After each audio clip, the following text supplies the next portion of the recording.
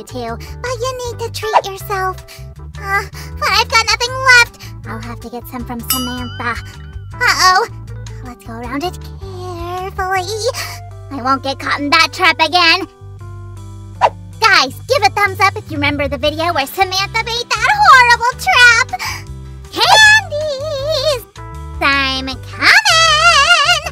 Stop! Slime, stop right there! Stealing candies again. Even the trap is no use against him. Ouch! I need to think of something else, more secure. And what can be more secure than a safe? What can I make from... Oh, we've got lots of cardboard left. Great, let's go. Whoops. Hi everyone, Samantha is here with her incredible crafts. It's Slime Sam's channel, actually. Yeah, yeah, well, you may assist me if you like. Of course I do. Hi, wait a minute. Good, go cut these sticks into squares. I can do that. Of course you can.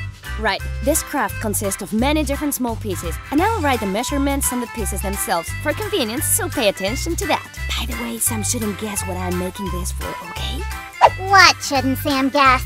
What I'm going to ask you to do next. Well, I really have no clue. What are we making? Curiosity killed the cat. Oh no, I won't be curious. Oh, good for you. Right. Um, I don't have any rubber bands. Get me a few. Ugh, I'm an errand slime again. But I'm an artiste. I want to create. If you grumble, I'll make this craft without you, Mr. no, Artist. No grumbling.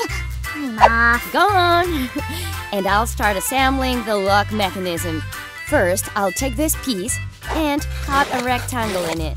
Well, I don't think I need to remind you that you should be careful with the cutter. Fingers are quite a useful part of your body. Make sure not to cut through cardboard along one side. It'll be a door. And on the back side, we'll cut some openings for the buttons. Sam is making wooden squares for them. Hey, he hasn't brought them yet, and I've already sent him from the rubber bands. I wonder what excuse he'll come up with now. Rubber bands. This is actually quite suspicious. And if Samantha's hiding something from me, maybe you know what she's hiding. Write in the comments! And I'll continue searching for the rubber bands. No idea where they are. But I can do it!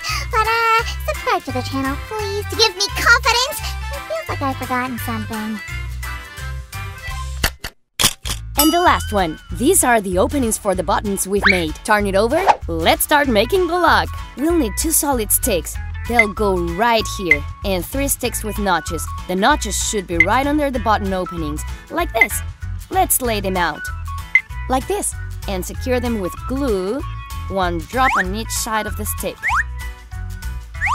Don't glue the grid itself, it should move freely. To hold the grid in place, we'll need these pieces made of two sticks. Let's glue them in place. I'll use hot glue gun this time. It should hold really well. There! And I'll repeat the process with the second piece. The same few steps. This will allow the grid to move. And let's add a stopper to make sure the grid doesn't fall out.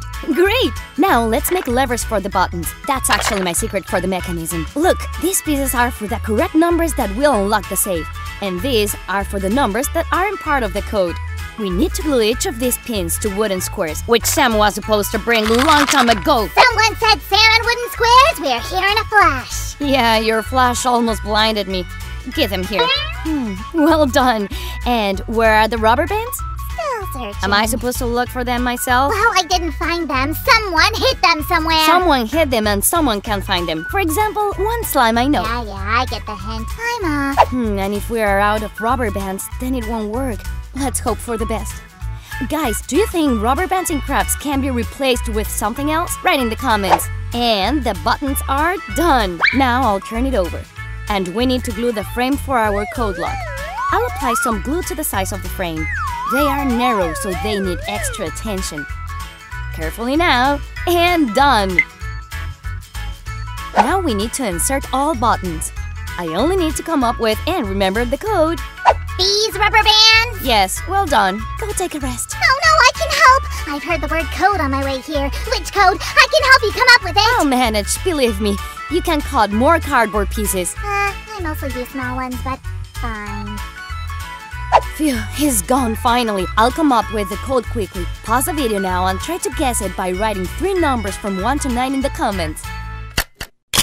I've got the code. All lever buttons are inserted and secured. Look, here are large sticks with openings, and here are the small ones. And the rubber band. I'll make a holder for the rubber band. One and two. Let's attach it. Great! Ah, I still have no clue what you're making. Do you remember about Curiosity and the cat? Okay, I'll go play with Fluffy! Right. I'll glue the stopper that will keep the door closed, like this. Now look, if you press the right numbers, the grid moves and the door opens. And if the numbers are incorrect, the grid will stay in place and the door will remain closed. That's approximately how real code locks work, but of course, they aren't made of cardboard. However, I think a cardboard save will be enough to let Sam know what I mean. Give a thumbs up if you agree. Right, now I need to make a mechanism that will reset the code. It's a very important thing, because otherwise the code can only be entered once, and who needs that? Let's make a grid out of these sticks. I will add 3 drops of glue onto the grid. Now we'll need a stick with a rubber band on it. And we'll glue it to the grid. To install that part into the lock mechanism, we need to glue little pieces with oval openings. I'll insert the stick into the opening and glue the second little piece. Let's add several pieces made of sticks.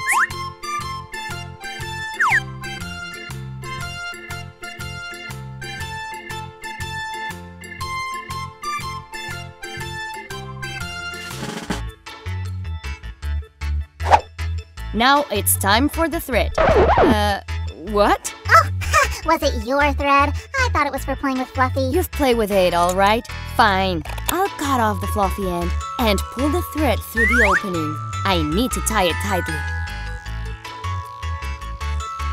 Sam, don't just stand there. Go get a black marker. I'll need it soon. How soon? Well, I don't know, in a couple of minutes? okay! Right. Look, if you press the buttons and then pull the thread, the buttons will reset. Here is the reset button itself. Let's insert it into the opening and turn it over again. I'll pull the thread through this opening. Uh, it's almost like threading a needle. Well, maybe it's just a bit bigger. Now we'll cover it with a little box. Here we'll need special wood glue again. I will apply it to the bottom of our little box. I need to secure the thread with glue as well. Can there be too much glue? and cut off the excess.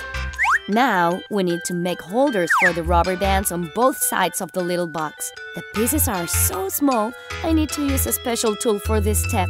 Great! Let's pull the rubber bands over. I hope it holds. Done! The bottom works! And these pieces will make a handle for opening the safe. A bit of cardboard magic. Fantastic! And on the back side, we'll glue the holders to block the door if a wrong code is entered. These pieces are so small, but without them, the code lock isn't going to work. That's right. Look, if the code is correct, the handle turns and the grid moves. And if the code is incorrect, the stopper won't allow the handle to turn. Isn't that genius? I'm so excited! I don't want to stop until I assemble the whole safe. I only need to assemble the cardboard pieces now. Here they are! And the marker too. Yes, well done!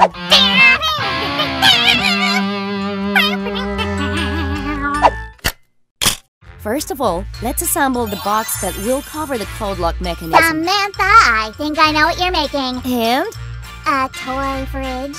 a fridge? Well, yes, for your dolls. Not in front of the viewers. Oopsie. Well, you know what I'm really making here. Not for dolls at all. Right, let's glue the box in place. Great! To make sure the door doesn't slam, we'll glue small stoppers. Pieces like these.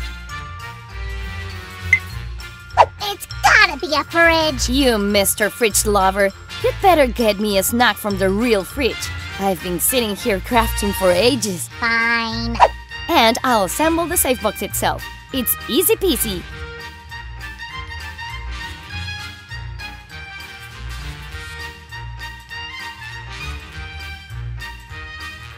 That's it.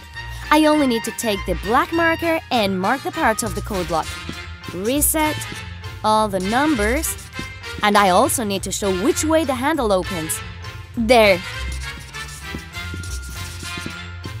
I'm gonna show you the code now.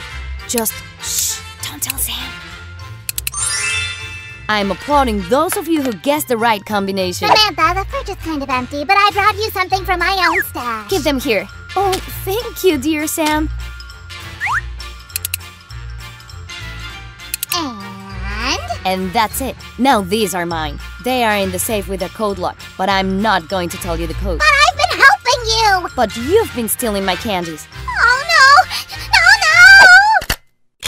I need to, uh, to guess it.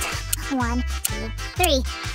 Doesn't work! Oh, I need to try more combinations! Okay, come on! Come on! Open up!